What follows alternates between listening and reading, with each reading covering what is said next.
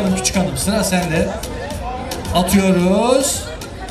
Sivas'ta bocce sporu tanıtıldı. Sivas Millet Bahçesi'nde her hafta farklı bir spor branşı vatandaşlara tanıtılıyor.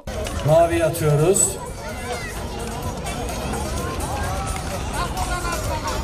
Uzman antrenörler nezaretinde spor yapmaya gelen vatandaşlara yardımcı olmak adına ısınma hareketleri ve antrenman destekleri veriliyor. Küçük hanım hadi bakalım.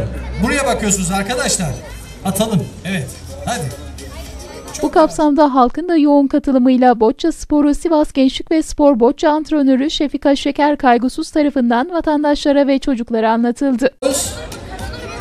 Başlasın diyoruz. O da küçükten yetişiyor. Harikasınız. Evet. Daha sonra ise yapılan yarışmalarla katılımcılar kıyasıya mücadele etti.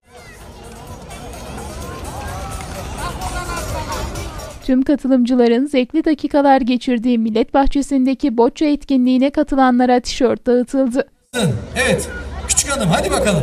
Buraya bakıyorsunuz arkadaşlar. Atalım. Evet. Hadi. Çok yavaş.